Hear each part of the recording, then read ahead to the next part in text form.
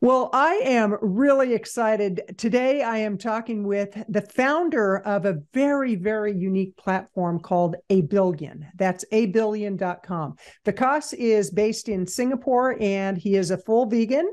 And he's got a great story of how he became vegan and how that led to leaving a very lucrative career to start a billion, which is a socially conscious uh, platform where you can actually change the world with every post that you make, every purchase that you make, and every product that you sell. So, Vikas, great to have you here.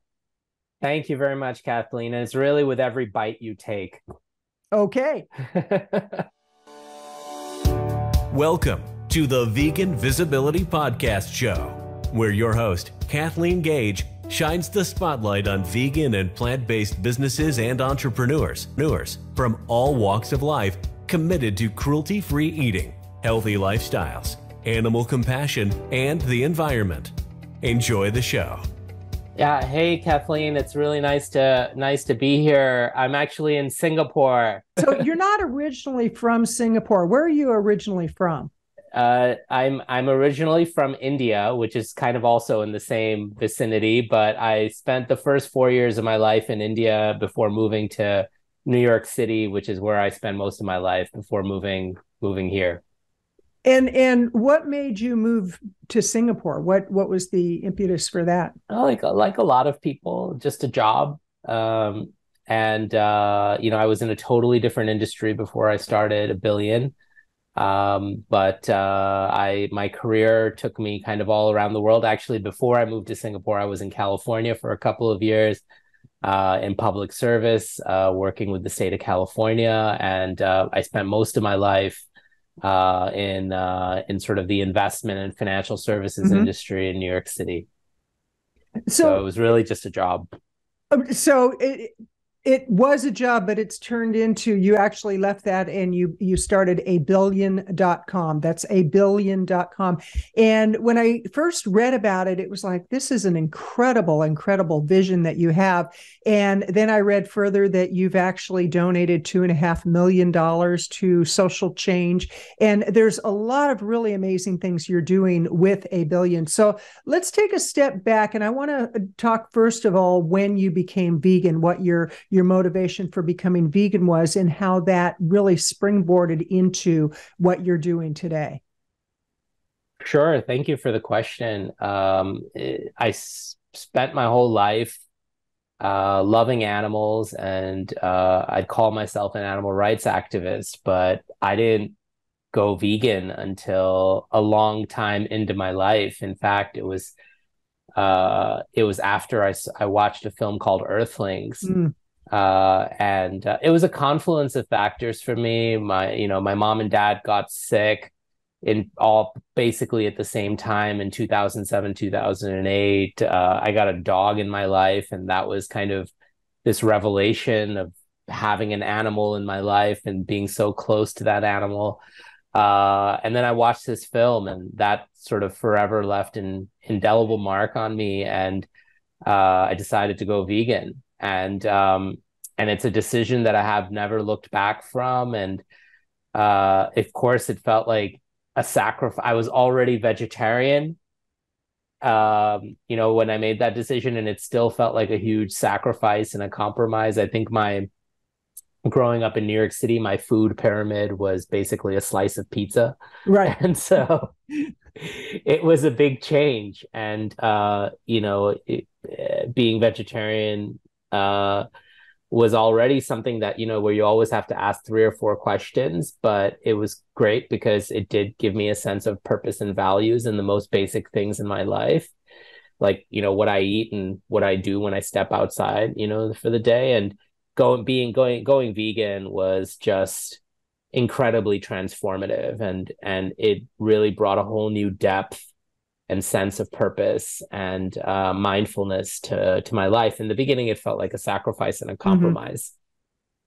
Well, and it's interesting because I think for a lot of us, we do get to that place of having much more awareness around everything that we're doing. And initially we don't realize what's going to happen. I, I'm coming up on five years of being vegan. And initially I was a plant-based eater. I wouldn't call myself vegan. And now I proudly call myself vegan, but I had to go through some, uh, if you will, stripping away of the veils of denial and being out of alignment. Now, what you've done so masterfully is you've taken your passion for being a vegan and your your ethics around being a vegan and you've aligned it with your life's work. So that is when you started in 2018 a billion.com, which is a phenomenal phenomenal business model and uh, social change model. Um, tell us about what a billion is and let's let's dig deep into where it's going the impact that it's had and how people can actually be listed on a billion.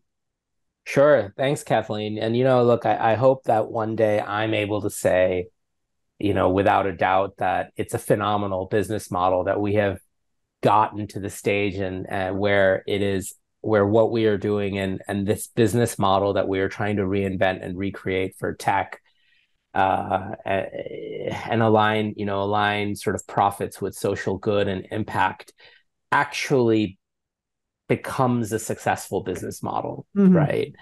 Um, you know, I, I'm the first person to say, I mean, we're not a profitable company yet.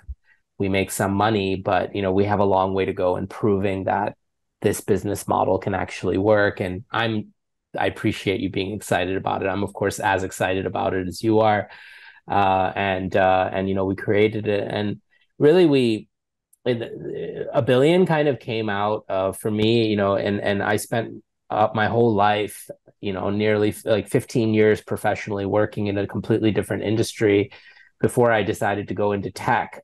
Uh, and I and, and the industry that I was in was Wall Street. And what I found was in 2016, 17, was a lot of the mistakes, a lot of the problems that we saw, you know, during the global financial crisis in 2008 on Wall Street were just being repeated in different ways in tech. Mm-hmm.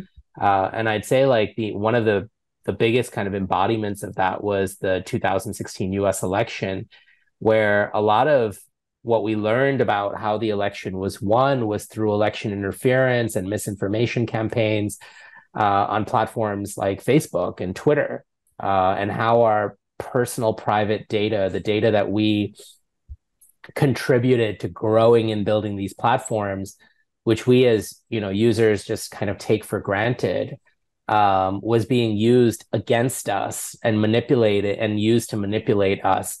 Um, and I'm not a very political person, so it was less for me about who won, but more about kind of how how the tech industry was starting to behave uh, and we've just seen that. I mean, that hasn't changed. We've continued to see that over the last five, six, seven years, right? Um, that a lot of these companies are not acting responsibly with our data. There's this, and there's so much discussion around this today, which I'm so happy to see that there's so much more discussion about this because when we we're starting to think about these issues, nobody was talking about them. Mm-hmm. But it's really, eh, you know, why why are algorithms being designed? to spread misinformation, to spread violence, to spread hate. And the question for me in 2016, at the end of 2016, was can we build, can we design algorithms to actually spread impact and drive sustainability and drive social good and social benefit? Or are we that, in a way, are we that effed as a society? Have we gotten to the stage where that is just not possible? Uh, and I just simply refuse to believe that. I just, I, I, I'm, you know, I, I refuse to believe that. And I felt like there was really an opportunity and I couldn't shake that off. And so I kind of went into my boss's office in, uh, in 2017 in February of 2017. And I said, Hey, I've got to do something about this problem. Mm-hmm. And, you know, I'm, I'm, I'm resigning. And that was kind of the beginning of a billion for me. And, uh, you know, we've uh, we're uh, what we're doing is building a different kind of social media platform, a different kind of marketplace platform, a platform where people around the world um, find inspiration and choose more sustainably every single day, and we make kind of this journey around sustainability, this journey around being vegan, which we have we very much associate as you know sort of the center, the foundation of the global sustainability movement. You can't think about being you can't act on being more sustainable without looking at the things that we eat and looking at the other things that we purchase and consume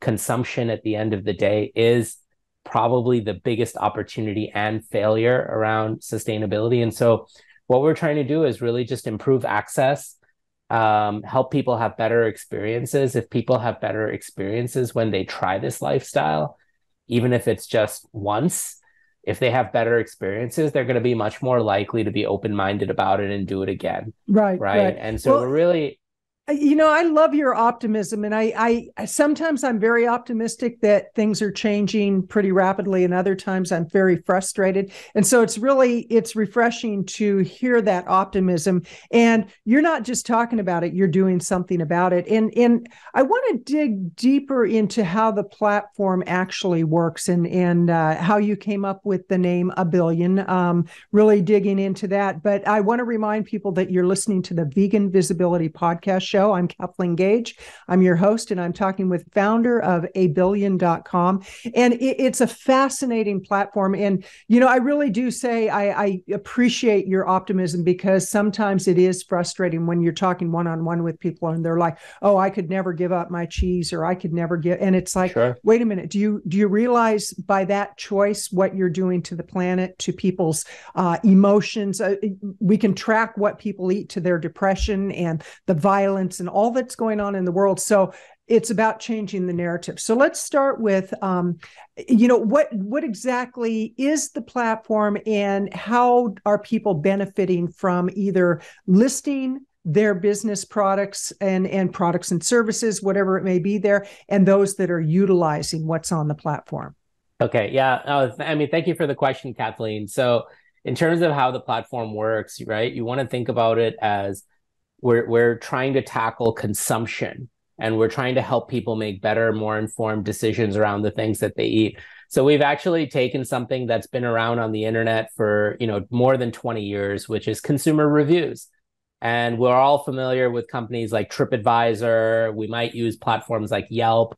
And we might even use company uh, might, might even use apps and platforms like vivino which help people discover wine around the world um, these are really, really great platforms because what they do is they give consumers power. They give consumers this source of truth, right? So if I'm going and I'm looking for a hotel in Vietnam, I'm likely going to go on TripAdvisor and see what people are saying before I even go and try to make a booking for a hotel, right? Mm-hmm. And 25 years ago, companies like that really were, in a way, seen as advocacy platform as as in a way uh, platforms for activism right? Now hotels were there was really not a lot of transparent information about hotels 25 years ago. There was no source of truth. There was no benchmark. And so by giving the average person somebody like you somebody like me the ability to go into a hotel take a photo say what they like don't like that was really powerful because then what that did was started to hold companies accountable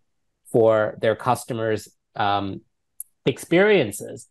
And so we've seen this kind of play out many times over, and we felt like, hey, okay, what can we build? We are trying. Our goal is to help a billion people go vegan. Our goal is to help. In order to do that, we also need to create billions of options around the world. Mm-hmm. We need to help businesses, and we need to kind of unlock the dialogue with businesses and show them that there is an opportunity right? That there's consumer demand, that there's interest, and we need to also show them and help them see kind of how you know how they in this merit sort of meritocracy around their businesses how they're performing versus others how they can do better. So if we're talking you know how do we get that kind of data? And the best way to do it you know we found is is to be consumer activists is to be consumer advocates uh, and so we created a consumer review platform and we've made it very social. We've done a few things to make it look and feel and, and really become very social and kind of bring a community together instead of it just kind of being kind of the boring old days of consumer review right. platforms from 20 years ago. And I think that, so it's that combination for us of having a really strong community that's out there in the world reviewing and creating content. Uh, we now have people creating reviews in 183 countries around the world, and they're just ordinary people who find us. and then really then taking all of that data and using it to transform the world. And I'll give you one example. We did, you know, in 2017, I was based here in Singapore and we looked at 5,000 restaurant menus and we uh, added up the number of vegan options at all of these businesses. And what was really crazy to see was that across 5,000 restaurant menus, there were less than a thousand vegan options, right? And that added up to less than 2% of sort of the options on these menus, right? Which we are like, okay, if we want the world to be more plant forward, we want people to be able to choose, they need to have more options and the options need to be great. Mm-hmm.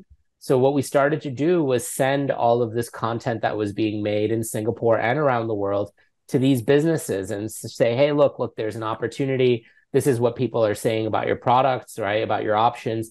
We do that with consumer products companies as well. And so through that, right, we've been able to make a massive dent in a market like Singapore. We've gone from less than a thousand vegan options at 5,000 restaurants here to about 28,000 or 27 or 28,000 options at more than five at 5,700 restaurants here that are just on our platform in the span of five years, right? By sharing all of that data. So that's like a 28x kind of right. growth. And we're not the only company that's responsible for it. The world is changing. There's all, a lot of companies that are making products now, making it easier for businesses to kind of, you know, in a way, do the right thing but for us, it's how, how do we have that conversation with that steakhouse? How do we have a conversation with the Japanese restaurant mm-hmm. or an mm-hmm. Italian restaurant and show them that it pays and it's good for their business, right? To have just be more inclusive, right? right. And then we back that up with the customers. So we then are able to feature these companies and rank them and rate them and you know show them off to the consumer that is looking for these options. And what is kind of really interesting about our platform is more than 65% of our members, our users around the world in our community are actually meat eaters. And we may, we may, you know, we're probably not responsible for their decision to say, hey, you know, I'm going to eat less meat. That might happen because they visit an animal sanctuary. That might happen because they have a health problem that may happen because their child has decided they've learned something or watched a documentary and decided to go vegan and now mm-hmm. the parent is kind of racing to catch up with that right? Or at least make sure their their child is happy. So it could happen for a variety of reasons but then ultimately then we become this platform through our app through our website this platform that then helps them on that journey right? And hopefully, if we're able to provide them with a really good experience, we're able to help them connect with great options wherever they are, whether that's in Portland or that's in Maine or that's in New York City mm-hmm. or that's in London or that's in Cape Town, South Africa or in Rio de Janeiro or in Singapore. We're now in 183 countries around the world. That's we're incredible. able to, we're able to help people discover plant-based options, get into a community that then rallies and supports them on this sort of path, right? Uh, because that's often missing for people. We have a really active user base in Sao Paulo, and there's people in Sao Paulo who are interested in living healthier. They just don't know how to do it, and they right. also don't have a community around them. So we're able to actually bring that community online and really connect that community. And through our community now, we have people who've met on a billion who are you know, interacting with each other online and offline now in the real world. So that's really exciting. They're trying to build this platform for global, you know, change in this space on a global scale. And well, the way that you know, let, us take a look at that because it's like now do you only have restaurants on a billion or is it other products and services that are aligned with the vegan movement the plant-based uh, eating the plant-based living because i know myself it's like food options are are relatively easy for most of us nowadays but then we move into the whole thing around cosmetics around personal yeah. care products around clothing. Um, d- dig deeper into that. What options do people have when they go to a billion? Yeah uh, for sure kathleen. Uh, it's so much bigger than food at restaurants. I mean so many of us love to cook and we don't even go to restaurants mm-hmm. very often. And and so restaurants actually serve as a very important utility because for you know those times when people go out to eat uh, you know we we help people find great options anywhere right? And so we have 110000 restaurants around the world on our platform and we have you know millions of sort of vegan options now that are rated and reviewed from those restaurants. In addition to that we have around 540000 consumer products and sort of the world's largest sort of directory and database now of of of vegan consumer products and they're really across 200 or so different categories but if i had to bucket them into three it would be food beauty and wellness and uh, fashion right mm-hmm. those would sort of be the three right. and then underneath that you've got a multitude of of categories and options and that's across 106,000 brands globally so mm-hmm. you don't have to be a vegan company to be featured on a billion. Um, we take a very meritocratic approach to that because ultimately we want to, again, we want to drive that change with all sorts of businesses, right? We want, of course, 100% dedicated vegan businesses, restaurants, brands on our platform, and we love them. And we, of course, want to have those conversations with companies like Unilever and Danone mm-hmm. and make sure that they're addressing and they're seeing the opportunity and they're in front of the customer and they're addressing that by creating great products, by creating better products and more of them. So you've been around since 2018 and um, you you've grown quite uh, rapidly and you have definitely growth plans for the future with uh, profitability as part of that what would you say has been the greatest challenge as you've grown your business? You said that you're not profitable yet. Uh, when do you estimate that you will be profitable, and what would it take for that to happen? I, we think that that's 2024 for us. You know, okay. one of the, the one of the great things about software. I mean, we're a tech we're we're a technology company. We have our our team is largely software engineers uh, and designers and data mm-hmm. scientists, right? Uh, so we have a small team of 24, 25 people. And uh, so we don't have any manufacturing, we don't have any logistics or supply chain or raw materials costs. And so we're not, you know, we're not impacted by the sort of the volatility around commodities prices or supply chain breakdowns around the world like we have seen for the last three, four years right? For us, what we're trying to do is really create a valuable service that lives online, right? And so, in a way, our business doesn't cost a ton of money to mm-hmm. sort of build and and continue sort of operating right our in our the, the the largest portion of sort of our our infrastructure spend and how we spend money ends up being you know our our team right which we try to maintain a small and very impactful team um, so yeah, I mean, we are, you know, we are kind of off to the races now. 2022 was really an opportunity for us to we'd gotten to the size and the scale on kind of like the the the experience of a 1000000000 mm-hmm. that we could then kind of start to turn the wheels of motion the, the wheels of commerce we could start to kind of get those turning and we uh, built and developed a peer-to-peer marketplace. It's really the world's first peer-to-peer marketplace focused on all things that are vegan. And we have, you know, we have activists and authors selling books on there. Uh, we have artists on there selling artwork. We have um, nonprofits around the world, a lot of animal sanctuaries that are now using our marketplace to raise funding mm-hmm. uh, for specific campaigns uh, that they're doing uh, and it's just and we have people even advertising services uh, on there and and and listing services. So we've got a marketplace that's in app that anyone anywhere in the world. I actually use it every weekend. I have a couple of orders this weekend. Um, I sell I make sourdough bread. That was my co- okay. COVID hobby. So I uh, I make my own. I, I have my own sourdough starter that I culture and I um, I make sourdough bread on the weekends, and I actually sell it to other members of our community in Singapore. And for anybody who buys my bread, they get half of the sale back, half of what they spend back to donate to animal sanctuaries. So how cool is that? So one of the very unique things about our marketplace is every transaction has to have a minimum of 1% of the transaction that goes back to charities that we support. I love that.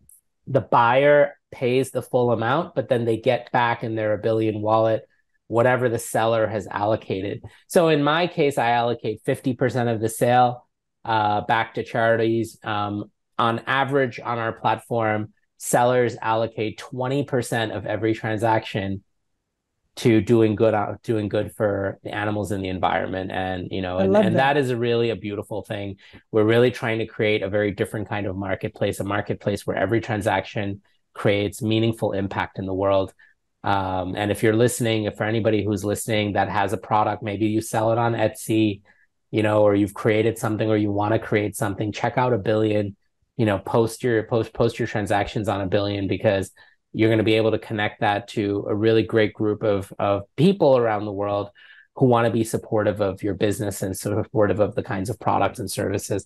And that's open not just for private sellers, people like you and me, but it's also open for um, uh, for brands, for businesses, anybody who's doing selling direct to consumer anywhere in the world.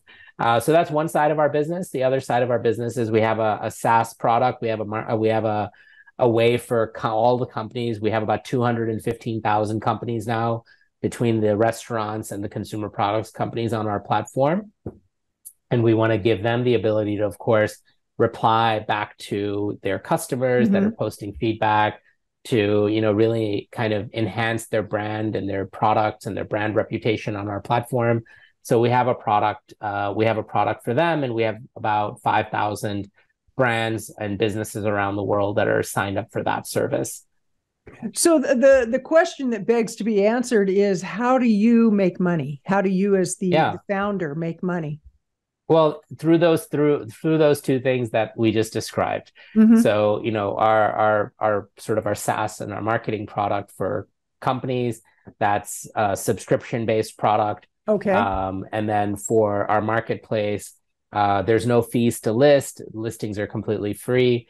Um, uh, we make money on every transaction. There's you know payment processing fees and and other fees, but they're very minimal right now. They're five percent.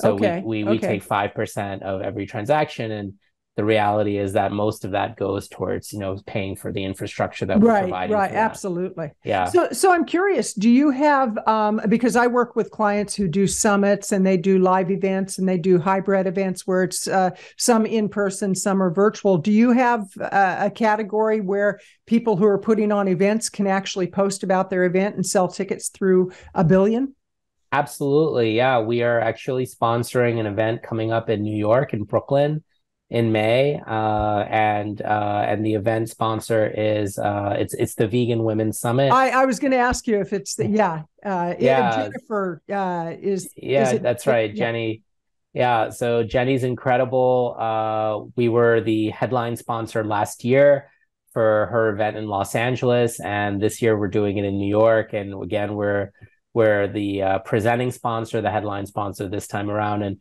VWS is selling tickets uh, through a billion uh, wonderful. through through our marketplace that's wonderful. so so let's look at well i'll have to talk to you about that offline but uh, let's look at the trends going on uh, not only in the business world but in uh, just people's lifestyles and in health and in um, ethical ways of living. Where do you see the whole vegan movement and not just about not eating animals but truly about the um, the the complete picture of what it means to live an ethical life and how we can take more responsibility. So, what do you see for the future? So, uh, you know, I think a lot of people who are living in cities and working, going, you know, doing sort of the daily grind. Um, when we talk to people, right, people, so many people want to do something meaningful with their lives. Um, a lot of people just want to hang out and work nine to five, but a lot of people want to do very meaningful things with their lives and they just don't know how. Mm-hmm. Right. Um, and we all kind of obsess about building a dream business or going and starting a hotel on a little beach somewhere. And, you know, but the reality is that it's so much simpler than that. Right. Is it, I, I have found in my life the greatest sense of joy and fulfillment by doing simple things like changing the way that I eat. And that has created mindfulness uh, and consciousness and gratitude and and a really a feeling of purpose and a sense of purpose and living my values mm-hmm. which is such a rare thing in society today, right? People want to live their values, they want to feel connected, they want to have a sense of purpose, right? And I see that that is really ultimately what the vegan movement or any movement where there is sort of an identity that it offers you. And I think that's one of the really great things about the intersectionality. I was just on the phone an hour ago with uh, with with someone in New York, and we were talking about this. Um, and uh, and there's so much intersectionality between, you know, the gender rights movement, the gender equality movement, the uh, you know, the LGBTQ movement, the minority movement, the rights movement, and the animal rights movement, mm-hmm. right? I mean, uh, for a lot of your listeners, I'm sure you know it.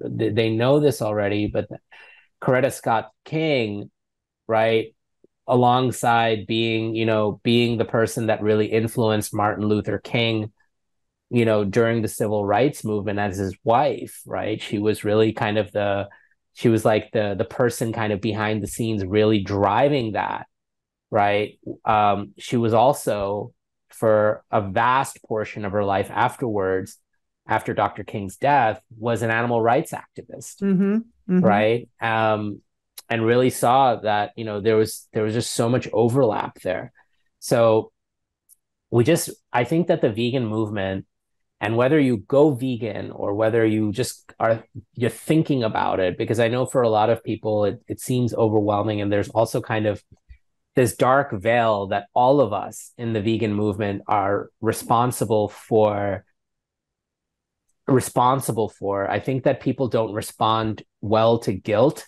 mm-hmm.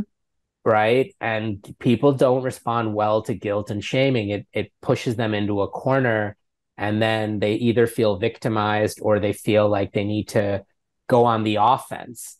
And what we have to do is find ways to effectively communicate and influence people in ways that they respond positively and change their behaviors positively right um, and uh, and so i think that i think that there's really an opportunity to do that uh, and it's it's our responsibility. And this is where uh, for us, we really for us we wanted to build a very different kind of social platform.